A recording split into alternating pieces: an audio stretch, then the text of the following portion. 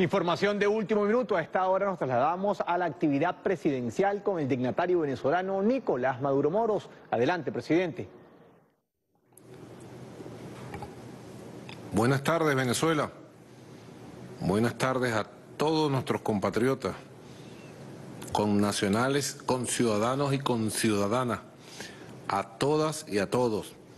Nuestro saludo siempre de hermandad, de trabajo, de trabajo permanente. Hoy estamos en esta jornada de trabajo, nuestras jornadas de trabajo vespertina.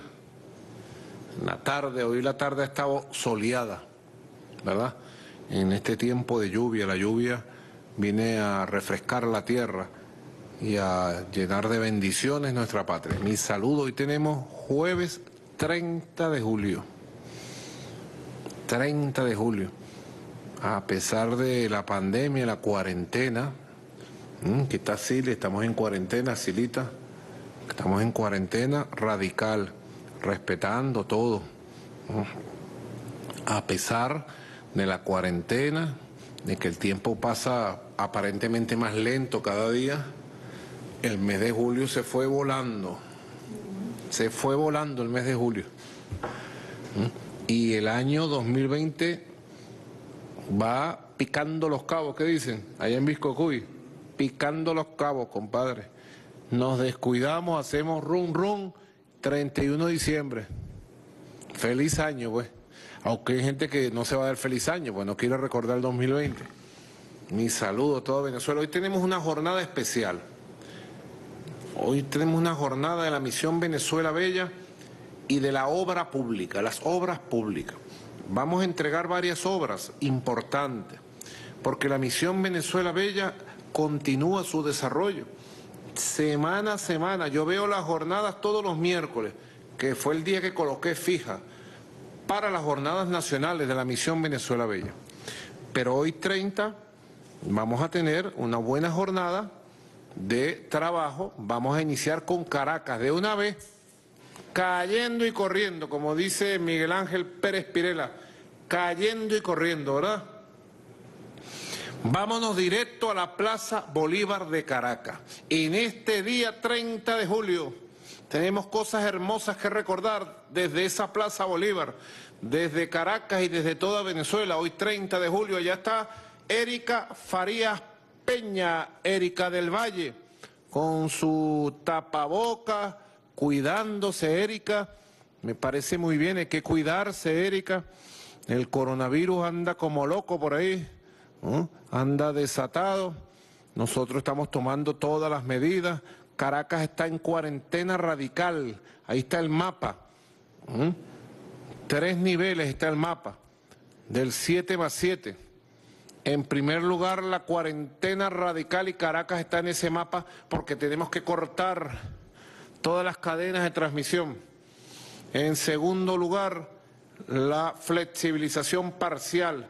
Y en tercer lugar, la flexibilización amplia o flexibilización general que han llamado. Pero aquí nadie se para, nada ni nadie se para. Aquí está Escalona llegando a última hora. ¡Quieto! Se barrió aquí Escalona. Quieto, aquí está. Cuarentena radical. Me gusta mostrárselo a todos los que nos ven y a los que nos escuchan. Aquí está el mapa de la cuarentena radical. Vamos a ganar esta batalla.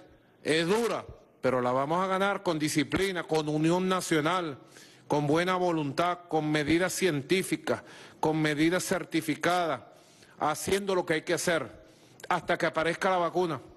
Aquí está. Cuarentena radical. Caracas, Miranda, Sucre, Bolívar, La Guaira, Zulia, Táchira y los municipios fronterizos de Apure.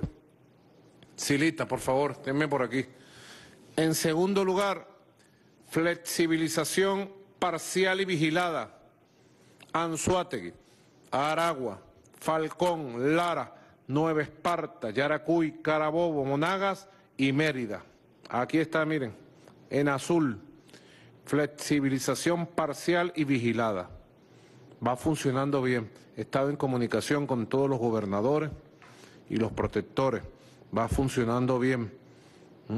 Y en tercer lugar, recordemos muy bien a todos los que nos ven y al mundo entero que está pendiente, lo que es la flexibilización general. En portuguesa, Guárico, Barinas, Amazonas, del Tamacuro, Trujillo, Cojedes y Apure, casi todo el llano prácticamente. Aquí está color mostaza, la flexibilización. Tres niveles, Erika.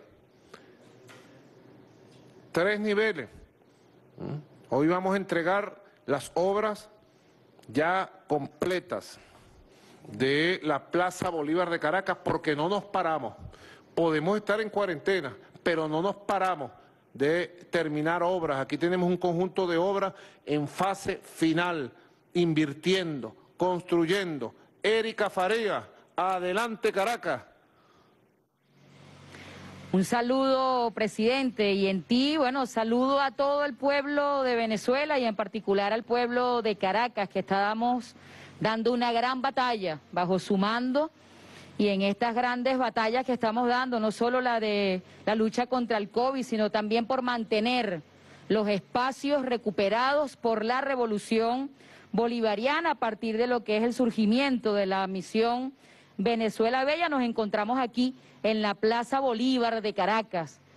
Esta semana está cerrando ya la semana de Caracas, la Caracas insurgente, como le hemos llamado, de Bolívar a Chávez.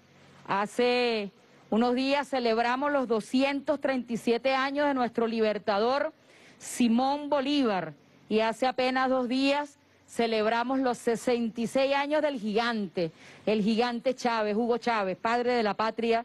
También esta semana ha estado, como usted lo sabe, movida, hemos estado trabajando por la cultura de nuestro pueblo a partir de lo que fue la Feria del Libro Virtual, más de 3.000 libros, presidente digital, totalmente gratuitos para nuestro pueblo y un conjunto de actividades. Y en el marco de esas actividades, la plaza. ¿Cómo podía faltar? entregar esta obra tan extraordinaria que la misión Venezuela Bella ha desarrollado para seguir cuidando y manteniendo los espacios de la Plaza Bolívar. En este momento se hizo la recuperación, presidente, de todo el sistema de riegos para mantener todo lo que es el esfuerzo de jardinería y paisajismo que se ha hecho en la Plaza Bolívar, que la ha puesto más hermosa de lo que ya ella era. Una plaza donde el pueblo caraqueño y el pueblo venezolano en general viene a disfrutar en tiempos de flexibilización y bueno, seguramente una vez que todo esto pase, nuestro pueblo podrá disfrutar de todo este esfuerzo. Hemos arreglado toda la luminaria de la plaza y además le hemos hecho mantenimiento y recuperación a las cuatro fuentes que hay en la plaza. Además es importante mencionar presidente, que este sistema de riego es automatizado y además tiene una cobertura de agua producto de la instalación de un tanque que se hizo y bueno, todo lo que fue el esfuerzo de recuperación de brocales y losas en el punto y círculo de la Plaza Bolívar. Es un esfuerzo, repito, en donde nos hemos incorporado todas las instituciones del gobierno en, eh, la ciudad de Caracas y forma parte, como usted lo ha dicho, de todo el esfuerzo que hacemos junto a nuestro pueblo y a todas las instituciones del gobierno para mantener, recuperar y disfrutar pues de los espacios de esta Caracas hermosa, de esta Caracas, de esta Caracas bella y bueno, también nos sumamos, como usted orientaba, todos los miércoles.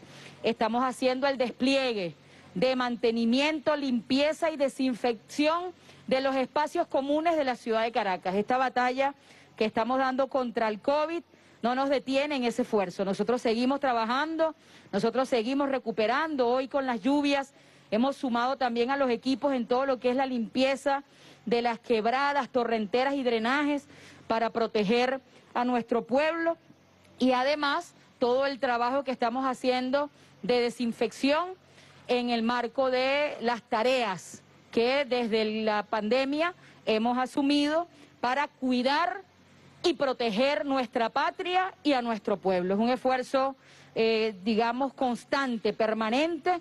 En medio de toda esta situación, nosotros no nos detenemos, los caraqueños, las caraqueñas, como toda Venezuela, se mantiene trabajando, manteniendo los espacios, cumpliendo con las orientaciones que usted nos ha dado y bueno, todo este esfuerzo, todo este esfuerzo lo merece el pueblo de Venezuela, un pueblo que está batallando, un pueblo que ha elevado cada vez más sus niveles de conciencia, no solo en el mantenimiento de los espacios, sino en estas circunstancias que estamos hoy viviendo, donde, como usted lo ha dicho, la principal batalla la vamos a ganar en la conciencia de nuestro pueblo, la conciencia de nuestro pueblo que sigue creciendo y que se va adaptando cada vez más a los grandes retos y desafíos que como pueblo nosotros tenemos y que los asumimos como hijos e hijas de Bolívar, de Chávez y que bajo su conducción pues estamos batallando y podemos decirlo, presidente, para que el mundo entero nos oiga, el pueblo de Venezuela, el pueblo de Caracas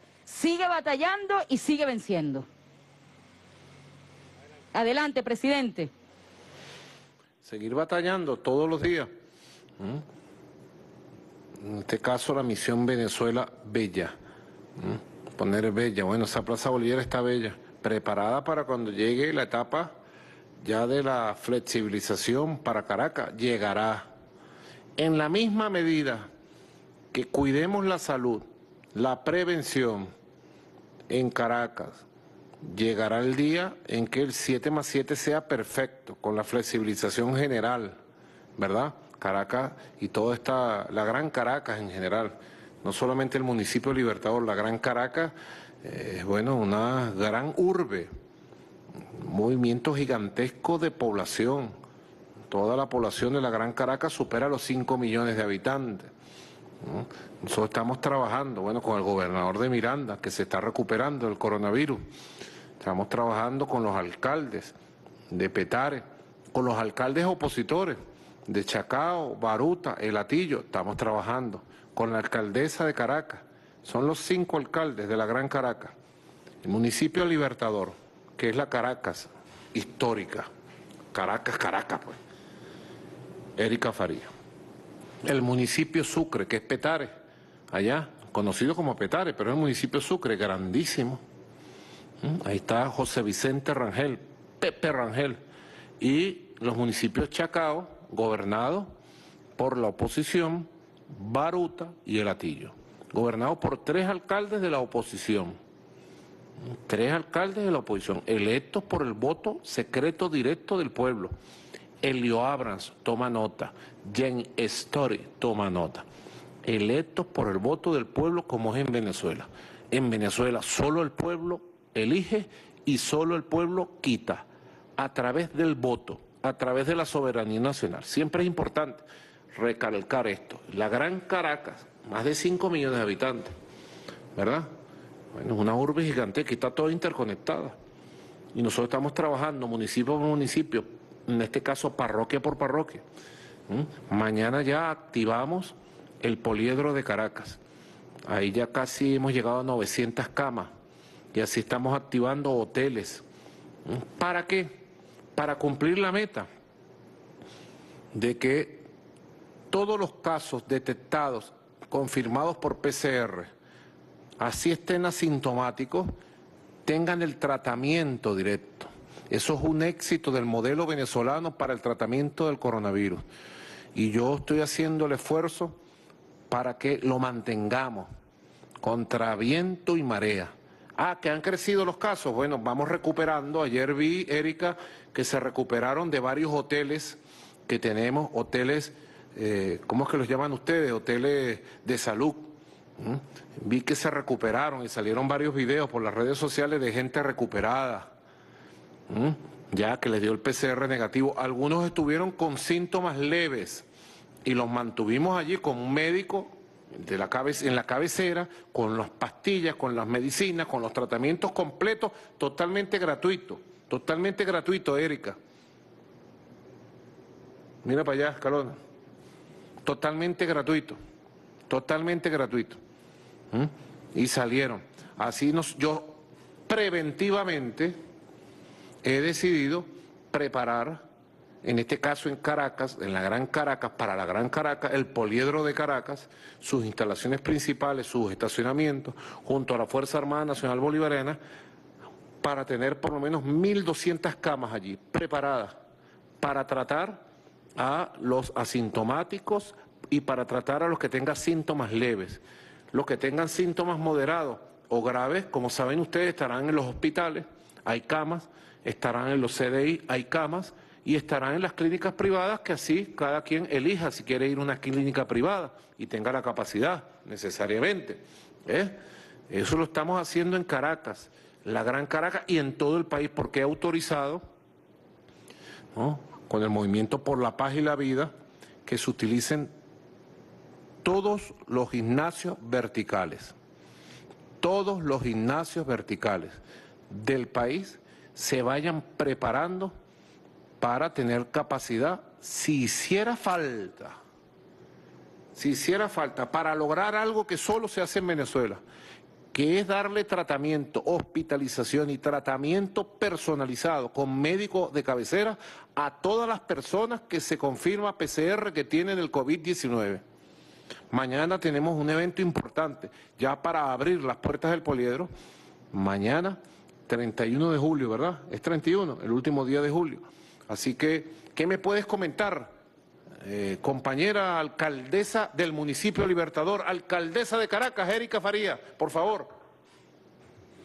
Sí, presidente, como usted ha informado, nosotros acá en la ciudad de Caracas hemos hecho un esfuerzo extraordinario en perfecta unión cívico, militar, policial, todas las instituciones que hacen vida en la ciudad para activar 66 hoteles de la ciudad de Caracas, 11 de ellos son hoteles sanitarios, allí tenemos atendiendo a más de 800 pacientes con PCR positivo asintomáticos, como usted lo ha orientado, tenemos 45 hoteles para el distanciamiento social de casos sospechosos de pruebas rápidas positivas.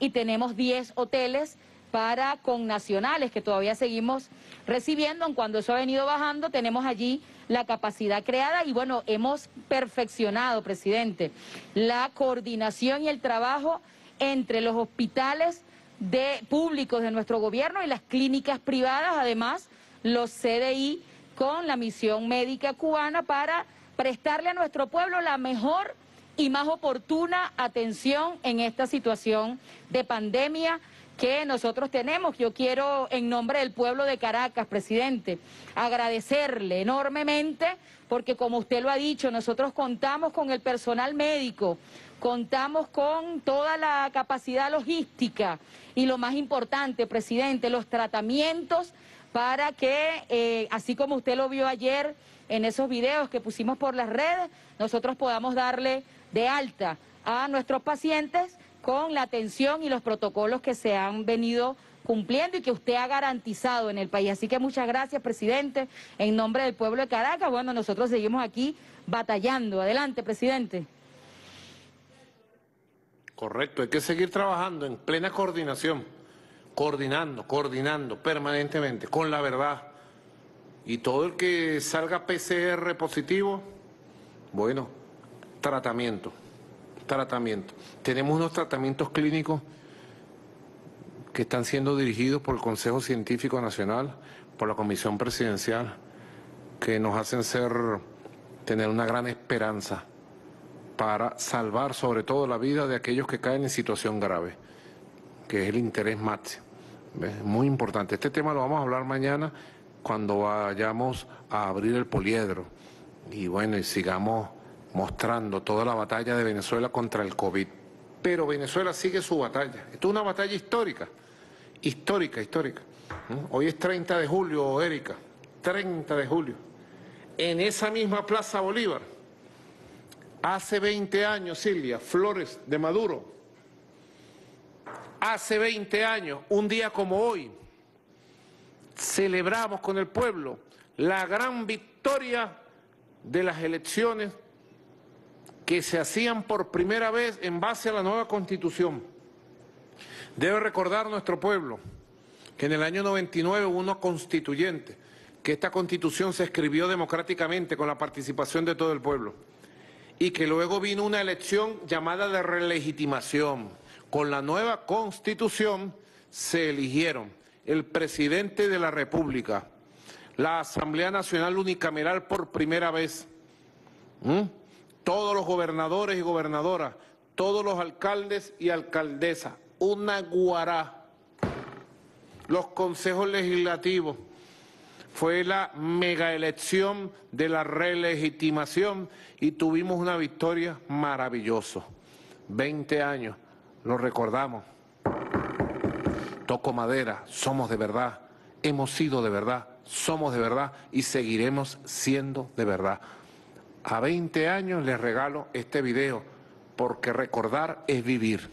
Recordar en plena batalla a nuestro comandante infinito, 20 años de esa gran victoria, 30 de julio. Vamos a ver el video, ¿lo tenemos listo? Dale con el video.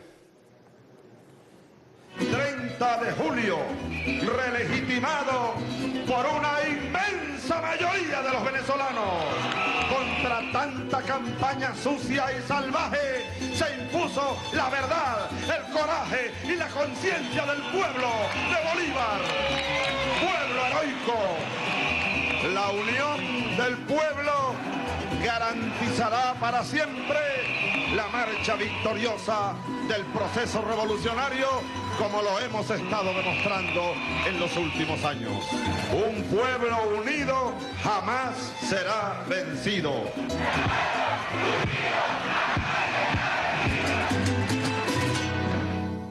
El pueblo unido jamás será vencido, el pueblo unido, el pueblo unido, el poder constituyente de un pueblo unido.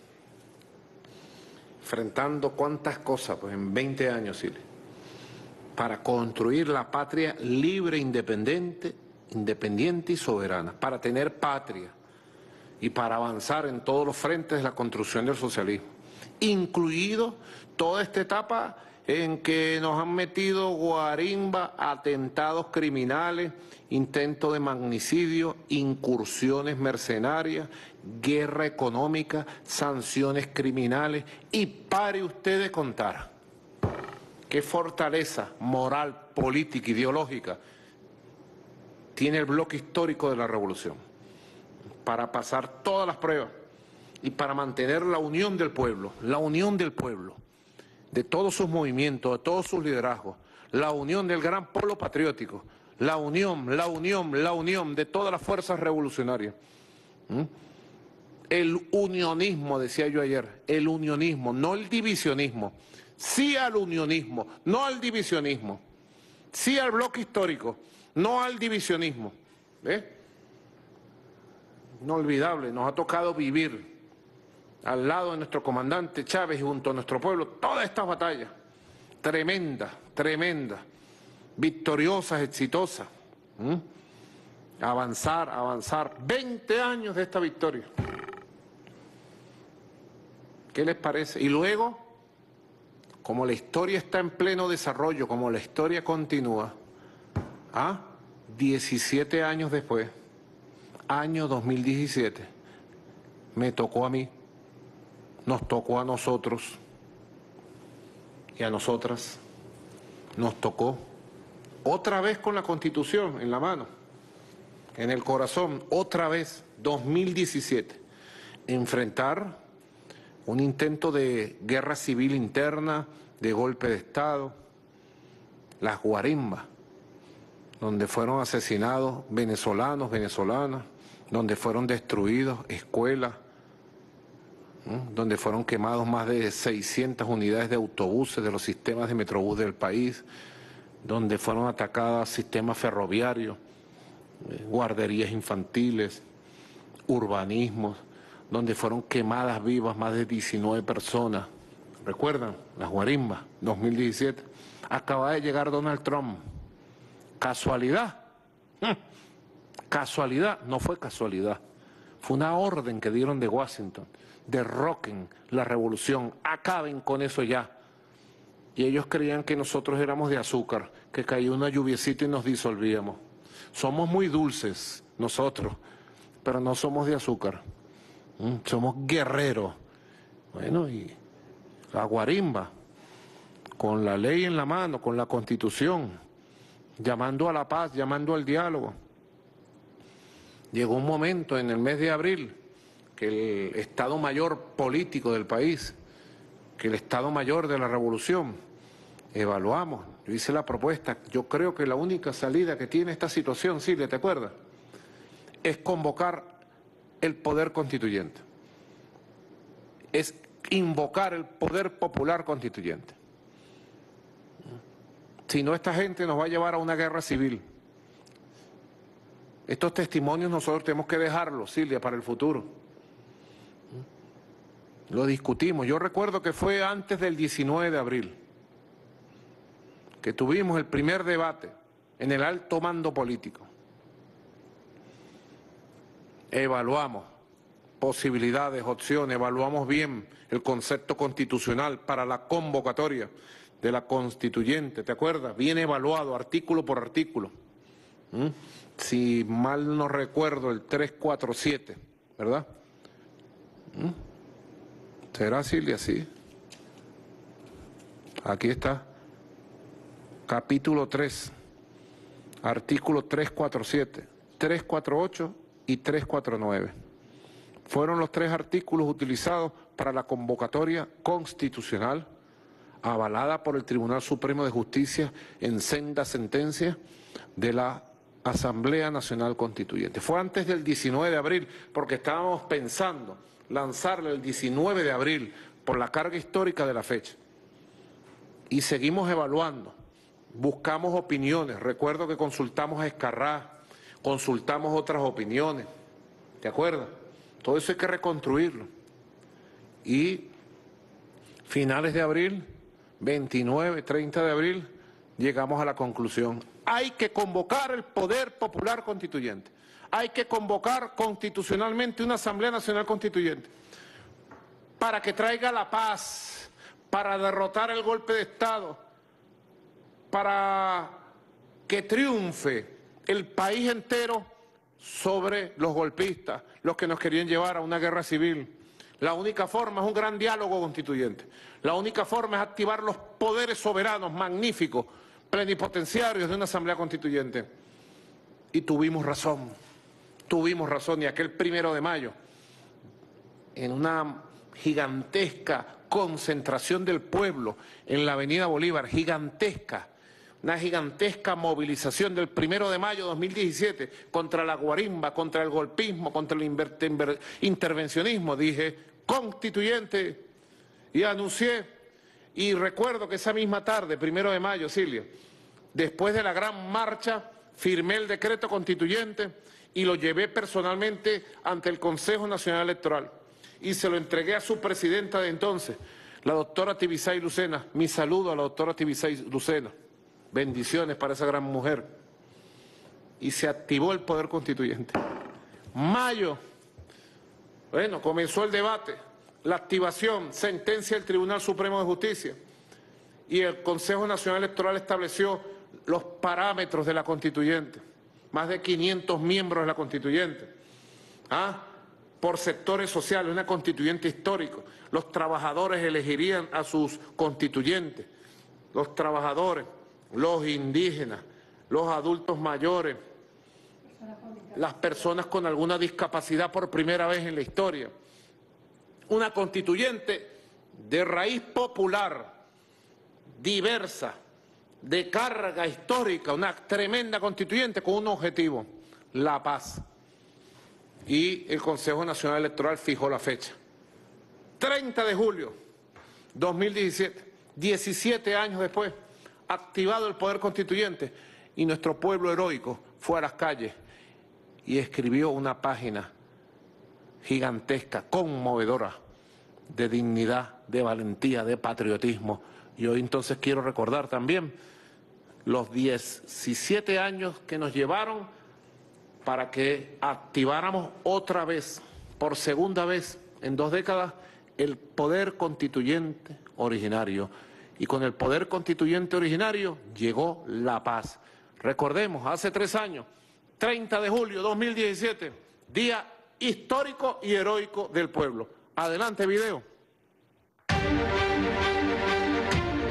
Tenemos asamblea constituyente. Venezuela de demostrado que cuando nos reta el destino, cuando nos reta la oligarquía pátrida, cuando nos reta el imperialismo, es cuando nosotros hacemos valer la sangre de libertadores que corre por las venas de hombres y mujeres. Con la victoria de la Asamblea Nacional Constituyente ha empezado una etapa de renacimiento del bolivarianismo, del renacimiento del chavismo popular, renacimiento de la revolución bolivariana, socialista del siglo XXI. Y esa etapa va a marcar nuevas tareas en lo económico, en lo social, en lo ideológico, en lo cultural, en lo político. Nadie está por encima del poder constituyente. ¡Que viva el pueblo de Venezuela! ¡Que viva la Asamblea Nacional Constituyente!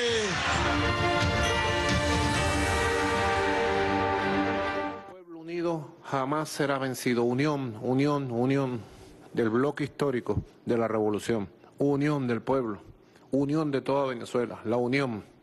La unión. Por encima de la diversidad, de los problemas, de las dificultades, de los errores, la unión. Para poder echar adelante la idea de patria, para poder preservar frente a los ataques del imperialismo la independencia, la soberanía y la libertad de Venezuela, para poder preservar el camino de la construcción de un modelo alternativo, de un modelo alternativo socialista del siglo XXI. Unión, llamo a la unión, a las bases de todos los partidos políticos, llamo a la unión a las bases de todos los movimientos sociales. Unión, unión, no permitamos que el divisionismo disolvente trate de meter el veneno, el veneno, el veneno de la división. No lo permitamos. Unión, llamo a la unión, sé lo que digo, llamo a la unión de nuestro pueblo. Por las glorias vividas y por las glorias por vivir, por los retos. Qué hermoso recordar los 20 años de la victoria unitaria del comandante Chávez. Y qué hermoso y milagroso fue el momento constituyente de hace tres años, que está vivo. Ahí está la Asamblea Nacional Constituyente, viva, firme, activa, trabajando, dejando un legado, sobre todo la paz, la paz defendida y preservada. Bueno, importante, hoy 30 de julio, siempre hay que recordar. Y ahora nos vamos a Isnotú. Doctor José Gregorio Hernández, yo tengo una gran fe en José Gregorio, Silvia lo sabe. Nuestro comandante Chávez era un gran devoto de José Gregorio Hernández. Creo en los poderes espirituales sanadores José Gregorio Hernández, lo creo. Y elevo mis oraciones porque José Gregorio nos siga ayudando a conseguir los tratamientos para la cura, para llevar el COVID-19, para atender sobre todo a los enfermos y para que la humanidad consiga la vacuna lo más pronto posible y para nosotros contener. Ahora, estoy muy feliz porque la misión Venezuela Bella hizo un proceso de reconstrucción, ampliación y embellecimiento de lo que se llama el circuito religioso del doctor José Gregorio Hernández, allá en Isnotú, en Betijoque.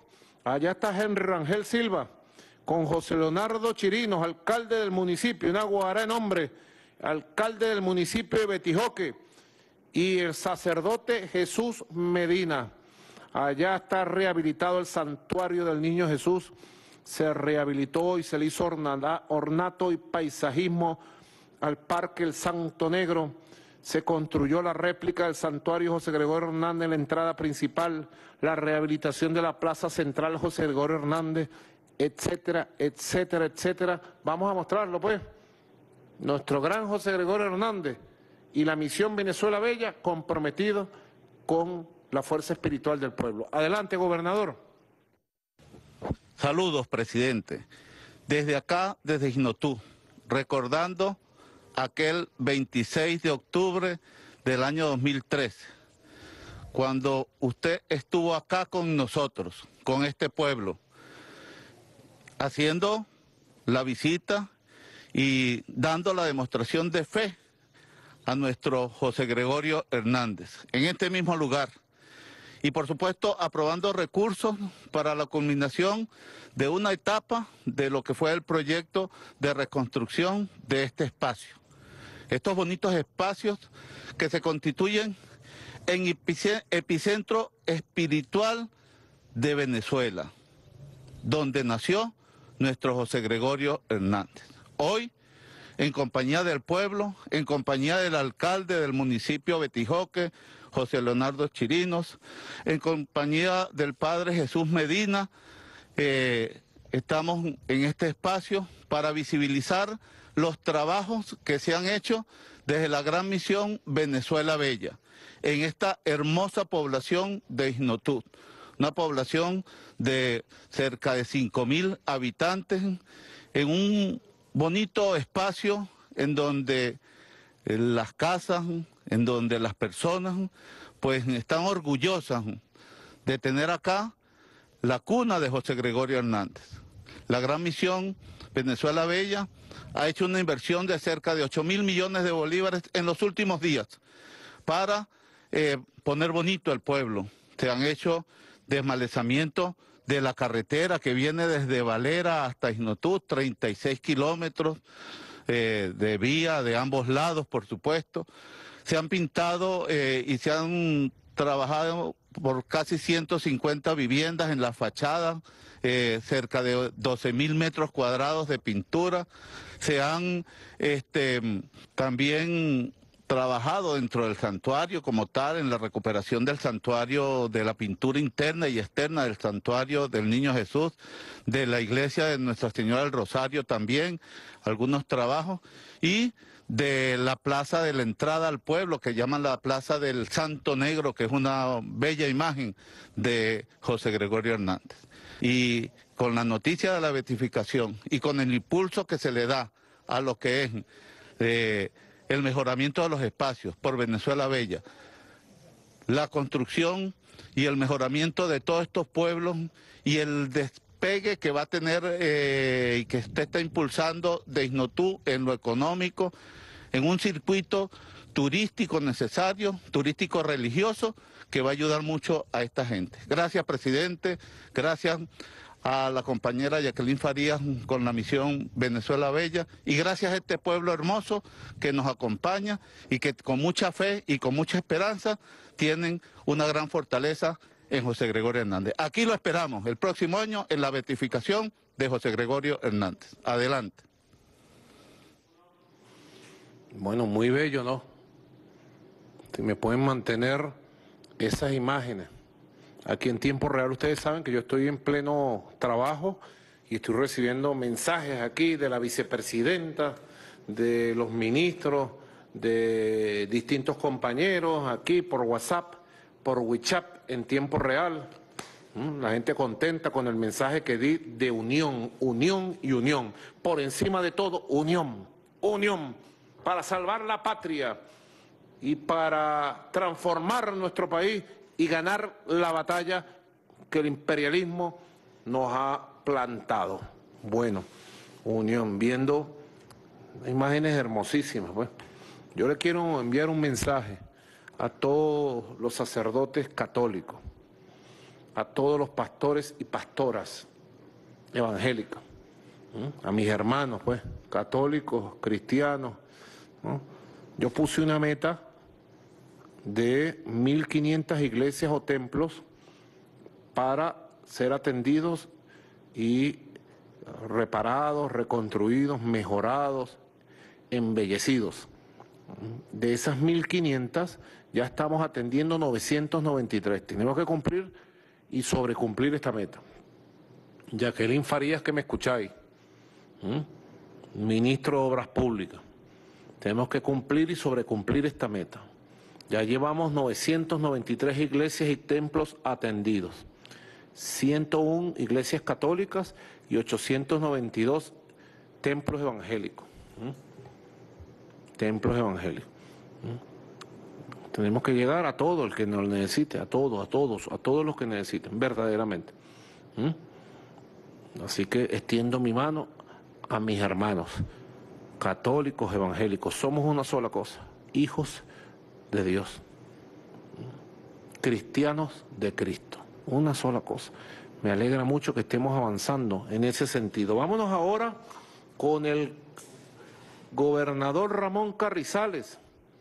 Él se encuentra ya en la avenida Primero de Mayo, parroquia San Fernando, municipio San Fernando, en Apure, ¿no? porque estamos en la fase de construcción del complejo cementero Pedro Camejo, una planta impresionante. Nada debe pararse, nada debe detenerse. Con las medidas de seguridad del COVID-19, nosotros garantizar que paso a paso, poco a poco, hecho los locos, pues, como se dice, avanzamos aquí, avanzamos allá, avanzamos siempre. Ni el COVID-19, ni el ataque artero de los golpistas, ni el ataque artero del gobierno gringo que nos detengan. Sí se puede Venezuela. Adelante, gobernador del estado Apure. Nos encontramos en el complejo cementero Pedro Camejo de Barrio Nuevo, Barrio Tricolor. Una gran misión potenciada en el gobierno de nuestro presidente Maduro, creada por el comandante Chávez, pero potenciada en este gobierno que se ha expandido a muchísimos sectores de la sociedad, a las comunidades, a atender a la gente, a resolverle su problema de vivienda, terminación de vivienda y hacerle la vivienda transformación del hábitat de la gente.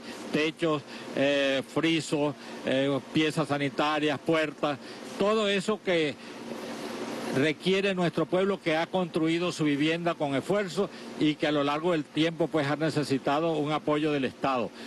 Me acompaña el general de división Francisco Corona, un exitoso gerente de Barro Nuevo Tricolor, Barro Nuevo Barro Tricolor en el estado Apure, la ingeniera Daisy Mejías, oficial también de nuestra Guardia Nacional Bolivariana. Barrio Nuevo, Barrio Tricolor, pues ha sido una misión de muchísimo éxito en el estado Apure. Y no solamente se ha limitado al mejoramiento de la vivienda, sino que ha trabajado también en la limpieza de canales, en el mejoramiento de las ciudades, de las áreas públicas. Nosotros estamos llevando adelante actualmente dos proyectos de la mano, Gobernación Barrio Nuevo, Barrio Tricolor, como es el complejo deportivo 12 de febrero y distintas áreas del, del hospital Pablo Acosta Ortiz que lo hemos ido humanizando de manera progresiva con la participación de las cuadrillas de Barrio Nuevo Tricolor, Barrio Tricolor, las cuadrillas del personal perteneciente también al hospital, junto a la gobernación Barrio Nuevo, Barrio Tricolor, hemos ido humanizando pues todas esas áreas. Estamos prontos a inaugurar, a reinaugurar el área de maternidad del hospital. Es decir, Barrio Nuevo, Barrio Tricolor está en la vida de los ciudadanos está trabajando de manera decidida y de manera permanente en todas las áreas que se requiera. Nosotros celebramos pues que esta planta con autogestión se esté inaugurando hoy para complementar el complejo cementero Pedro Camejo en San Fernando de Apure, Barrio Nuevo, Barrio Tricolor. Bueno, la infraestructura para poder avanzar en todas las obras, consolidando la infraestructura ahí en Apure. Y hay que consolidar la infraestructura en todo el país para la producción. Ahora vámonos a Barcelona. Allá está Luis José Marcano, líder anzuatiguense, líder del pueblo de Barcelona. Mi saludo a todo el pueblo de Barcelona. Siempre recuerdo mucho a Barcelona, porque allá íbamos con la familia, nosotros a pasar los fines de año. Muchas veces allá en los años 80, parte de los 70, ¿no? Todavía no había nacido Escalona. Ahí vamos nosotros a Barcelona, ciudad de Barcelona, parroquia San Cristóbal, municipio Simón Bolívar. Vamos a, a ser partícipe de este milagro comunal, comunero, de este alcalde que cree en el poder popular. Cumplió un año aquel referéndum que él hizo solo con las comunas. Es una juventud que se levanta como líderes de sus pueblos, de sus estados, Luis José Marcano, y que creen en el poder popular, están construyendo la nueva democracia, la democracia comunal. Vamos a ver la inauguración de las primeras taquillas de cobro del servicio de recolección en las comunas. Un trabajo hecho, mire, con las manos. Gente que no anda con alaraca, con discursito sino que anda trabajando, trabajando, construyendo, aprendiendo del pueblo, ¿eh? aprendiendo del pueblo y uniendo las fuerzas populares, celosos de la unión de las fuerzas populares. ¿ah? Quien pretenda dividir las fuerzas del bolivarianismo y de la revolución está cometiendo un crimen, porque es el momento de mayor ataque que el imperio alguno haya hecho contra nuestra patria. Por eso me da gran alegría mostrar el rostro y el trabajo de un líder como Luis José Marcano, que cree en el poder popular y construye la unión popular todos los días. Adelante, Luis José. Saludos, presidente Nicolás Maduro, desde Barcelona, la capital del estado Anzuate, y nos encontramos en el ámbito territorial de la comuna Bahía de Barcelona, materializando el día de hoy un paso más en concordancia con lo que fue aprobado por el pueblo de nuestro municipio el 28 de julio del año 2019. En consulta popular, la transferencia de la competencia de recolección y la administración del reciclaje a las comunas. A partir de entonces hemos venido avanzando en siete comunas que ya han logrado consolidar la transferencia de competencia. Y el día de hoy damos un nuevo paso incorporando la octava comuna, esta comuna Bahía de Barcelona que está recibiendo una compactadora totalmente nueva para la atención de su ámbito territorial, pero además del el ámbito territorial de la comuna socioproductiva Simón Bolívar. Pero quisiera que fuese un comunero, Fernando Tóbito, quien explique en detalle cómo va a funcionar la administración de esta competencia en este territorio. Fernando. Gracias, alcalde. Saludo solidario y revolucionario, comandante presidente Nicolás Maduro, desde el territorio de la comuna Bahía de Barcelona y socioproductiva Simón Bolívar. Hoy haciendo realidad lo que hace un año se cumplió, como es eh, la transferencia del poder de la administración, la recolección, el reciclaje de los desechos sólidos al poder popular a través de las comunas. En ese sentido, aspiramos con esta compactadora ir a la recolección de 174 toneladas que se producen de desechos, pero lo importante es que de esos desechos en un año podamos lograr bajar al 30%, porque aquí lo estratégico es ir al reciclaje, para que sean atendidas las 5.740 familias que conforman estas dos comunas. Comuna o nada, señor presidente. Excelente, Tobito, muchísimas gracias. Es el objetivo estratégico, el ejercicio de la gobernabilidad de nuestro pueblo consciente y organizado, presidente Nicolás Maduro. Queremos informar también que esta semana se están abriendo ocho taquillas de cobro de este servicio de recolección en cada una de las comunas donde se viene consolidando este avance. Importante también destacar que va a haber la posibilidad para los vecinos y vecinas de cancelar el servicio con el reciclaje, con material de plástico para el intercambio. Es importante también decir que ese material que se viene aplicando bajo la política de reciclaje en nuestro municipio está siendo utilizado también para la construcción de mobiliario público que sirve, por ejemplo, a las estaciones del servicio de transporte público aquí en nuestro municipio. Queremos finalmente decirle, presidente Nicolás Maduro, que estamos incorporando a partir de esta semana una nueva herramienta para el fortalecimiento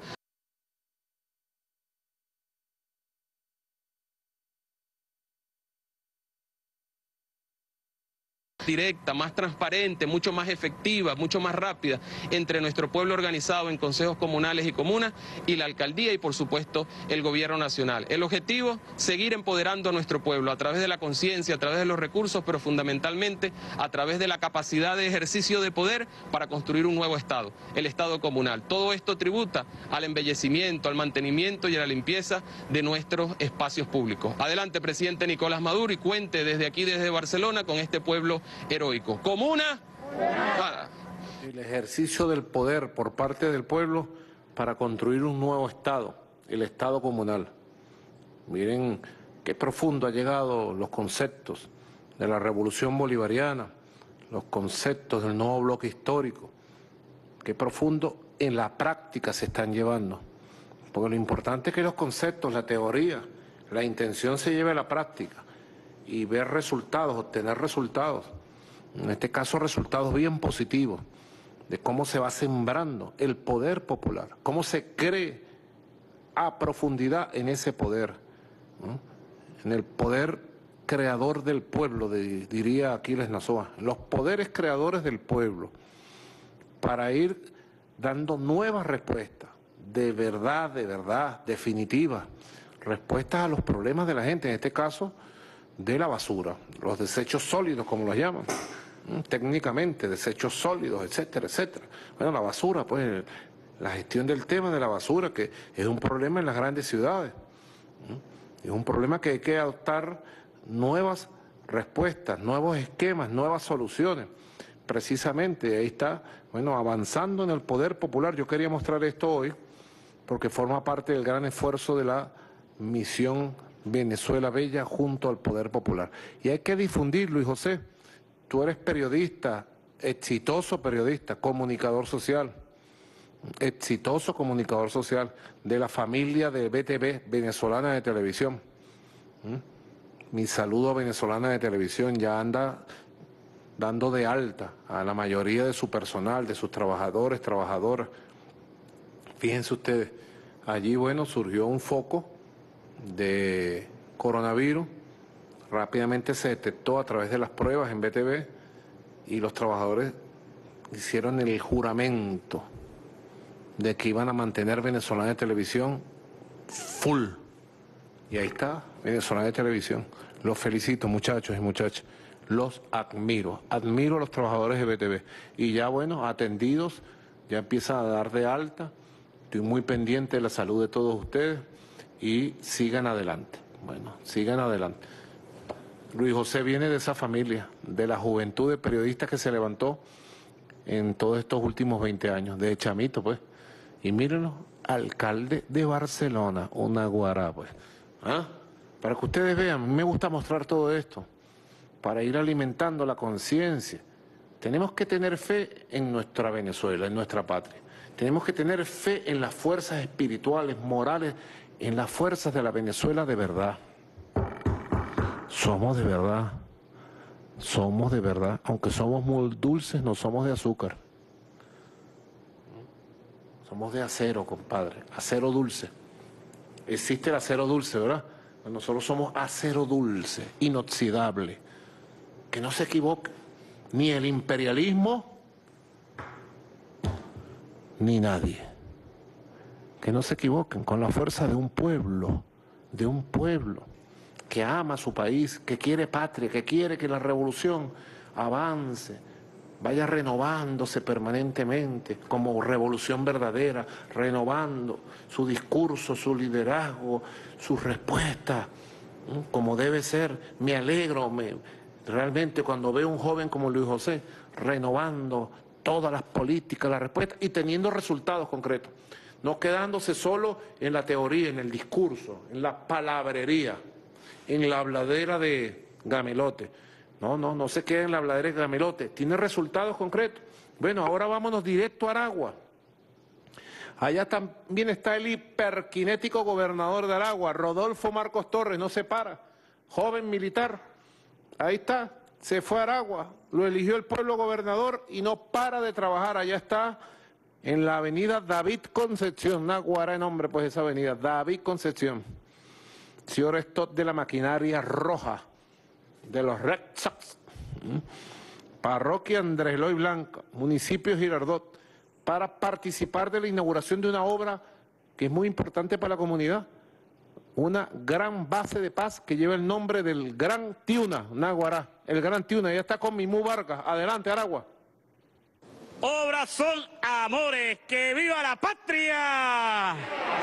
Saludos mi comandante, estamos inaugurando hoy esta extraordinaria gran base de paz, gran tiuna, excelentes instalaciones. Aquí está nuestro presidente obrero Nicolás Maduro Moro entregando estas extraordinarias instalaciones para el pueblo, para la paz, para el amor, para el deporte. Instalaciones de primera con equipos de última generación, tecnología de punta para los niños y niñas de la patria, para nuestra abuela, nuestros abuelitos, para la juventud patriota bolivariana. Aquí estamos en presencia del querido amigo, muy conocido, Mimou Vargas, quien nos va a dar un mensaje de estas extraordinarias instalaciones que estamos inaugurando en el día de hoy. Bueno, presidente, le queremos decir que hoy inauguramos la base número 36 a nivel nacional. Esta gran base tiene las condiciones que en el mundo Gobernador, y al pueblo de Venezuela se lo voy a decir, el único país del mundo ahorita, con pandemia, con la guerra económica que ha inducido la ultraderecha, está inaugurando una gran base con una inversión multimillonaria solo en revolución, gracias a usted, presidente, nuestro presidente conductor de la pánica, Nicolás Maduro Moro. Esto tiene cinco pisos. Tiene un piso que es el primer piso donde tenemos 700 comidas diarias para nuestro pueblo. 700 comidas con el comedor Mama Rosa. Tenemos centro de cyber, de internet para nuestros niños, niñas y nuestro pueblo. Este es el piso 2, presidente. Un gimnasio con todas las condiciones totalmente gratis para nuestro pueblo. Y por supuesto, la ultraderecha cobra de 100 a 150 dólares y en revolución totalmente gratuito. Aparte de eso, presidente, bueno, es un edificio que el piso 3 tiene deporte de combate como el boxeo, jiu-jitsu, el karate. Y por supuesto, en el piso 4 tenemos la esgrima al pueblo de Venezuela y al gobernador que está aquí presente. La esgrima a nivel mundial es privatizada y en Venezuela masificada y gratuita para nuestro pueblo. Entonces nos despedimos diciendo que estamos en Aragua Potencia, diciendo que, que nos despedimos con el grito de Sefer y Riva. No podemos optar entre vencer o morir. Necesario es vencer. Adelante, gobernador. Bueno, mi comandante, desde la Aragua Potencia, en esta extraordinaria obra, y como usted dice, obras son amores. ¡Que viva la patria! Excelente.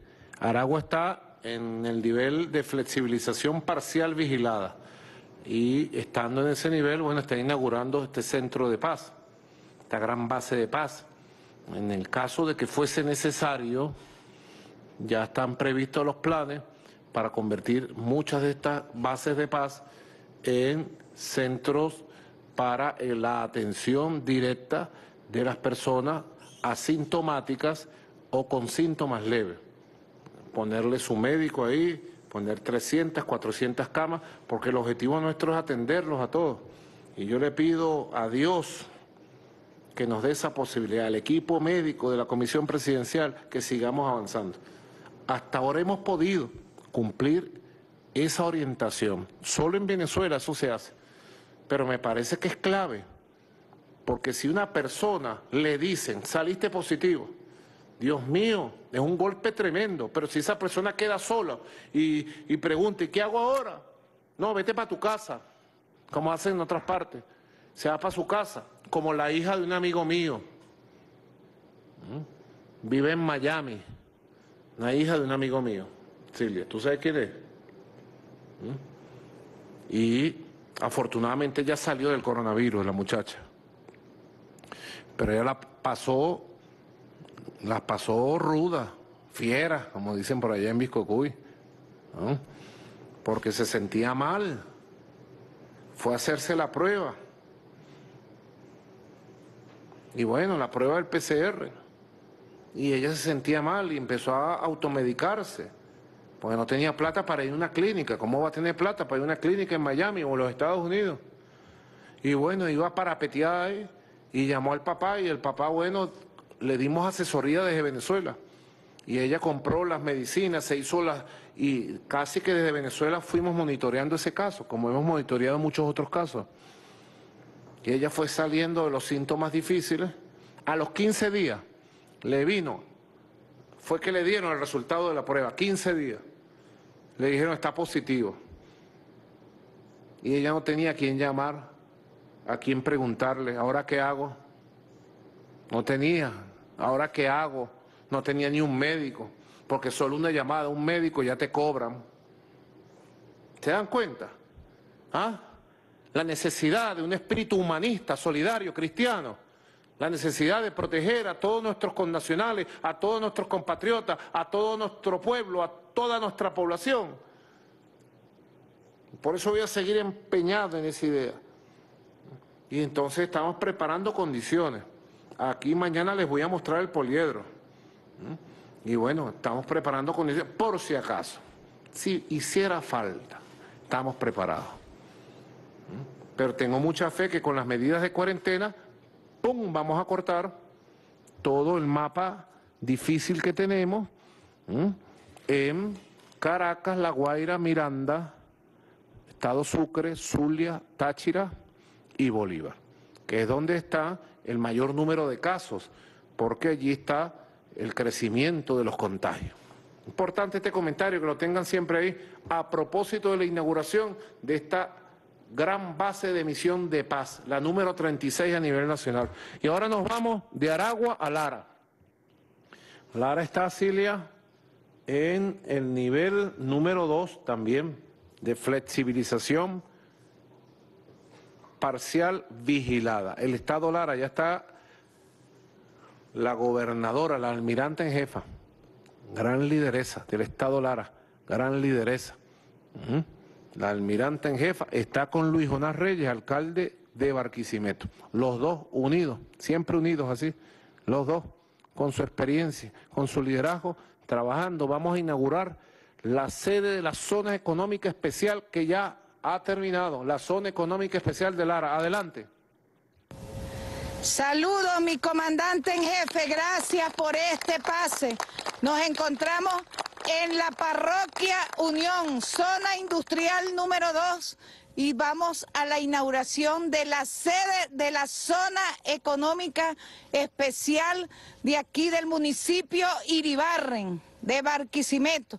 Me acompaña el alcalde del municipio Iribarren, la secretaria de Desarrollo Económico y los jefes de todas las instituciones que estarán haciendo vida en esta sede de la zona económica especial como el CENIAT, el IFE, el INSAI, la Guardia Nacional Bolivariana, todos como un solo cuerpo para facilitar las importaciones y las exportaciones desde este espacio donde estará una taquilla única de exportación. Mi comandante, acompáñeme a develar la cinta para que quede inaugurada esta sede que será el portal del futuro del desarrollo económico del Estado Lara. Acompáñeme. Mi comandante, aquí estamos develando la cinta de inauguración de esta sede. Un sueño hecho realidad. En esta sede está también nuestra Guardia Nacional Bolivariana, la almacenadora Caracas, Bolipuerto y todas las empresas públicas y privadas que le darán vida a este polo de desarrollo económico. Yo quisiera que nuestro alcalde, pues principal aquí en su municipio, que tiene cuatro zonas industriales, también está la zona industrial en Palavecino, la zona industrial en Morán y la zona industrial en el municipio Torres. Luis Jonás. Bueno, agradecidas, señora almiranta, gobernadora, por este apoyo que le está dando a todo nuestro municipio de Ibarren. Esto garantiza que podamos nosotros fomentar la importación y la exportación.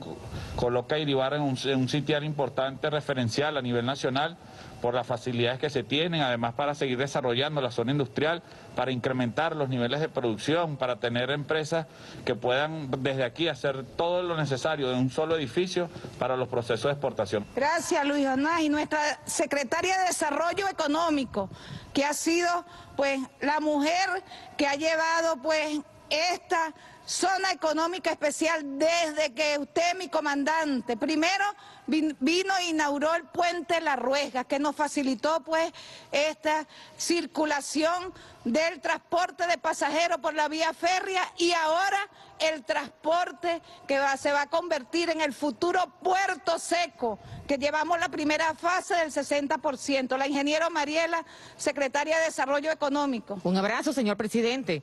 Eh, orgullosa de estar aquí informando a usted y a todo el pueblo del Estado Lara y al país la consolidación de la primera fase de un gran sueño que se diseñó en el marco de ya nuestro plan de gobierno que acompañamos allí a nuestra querida candidata y ahora gobernadora. Y una estrategia del desarrollo como es la zona económica especial que está prevista en nuestra ley de regionalización de la mano del Ministerio de Planificación y todos los actores nacionales.